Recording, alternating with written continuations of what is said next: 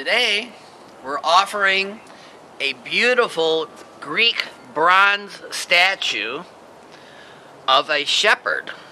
If you take a look at some of the details, like look at his eyes, how they're inset, and he's got the classic Greek nose and a beautiful, beautiful face. If you look at the top of his face, you see two groups of grapes that are tied around his head and you see these beautiful locks of hair that would be period of of turn of the turn of the zeros, 19, uh, the year two zero, and or earlier or a thousand BC. This is not a thousand BC statue. It does have beautiful patina, green green color to it. It's always been an indoor item.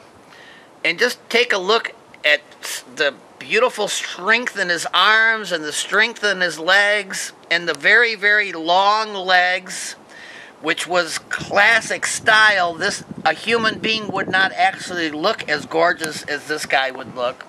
If you take a look all the way down at the bottom of the statue, you'll see he's wearing a very high-end set of sandals that are custom made with a lot of carving in the sandals, but even more so, the detail in the long Greek style toes and the beautiful workmanship. If you look at the base, you'll see two separate tiers of engraving. Now, the base is installed separately.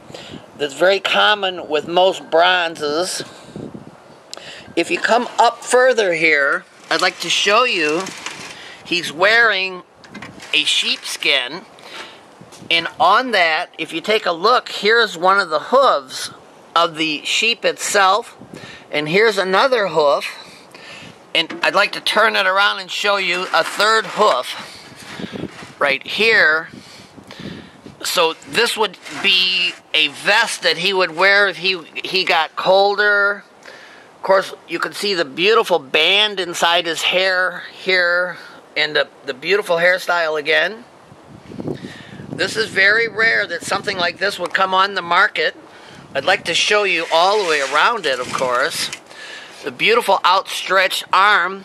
Now, I want to point out one flaw. If you take a look at the index finger, it's been missing for so long that it's patinaed with the color of the bronze itself.